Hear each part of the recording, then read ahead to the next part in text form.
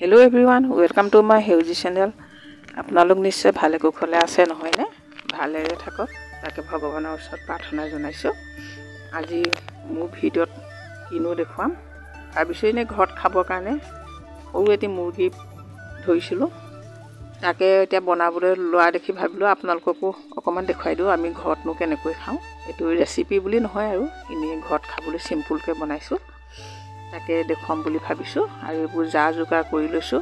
এতিয়া কেৰাহীত তেল দি লৈছোঁ। আৰু এতিয়া আপোনালোকে চাই যাওকচোন। এই অকণমান ডালচেনি দি দিছোঁ তেলতে। তেজপাত দুখিলা মানে সেতি এইগতে দিলে অকণমান গোন্ধটো ওলায় গোন্ধটো ওলালে আৰু ল'ৰা ছোৱালীবোৰে খাই ভাল পায়।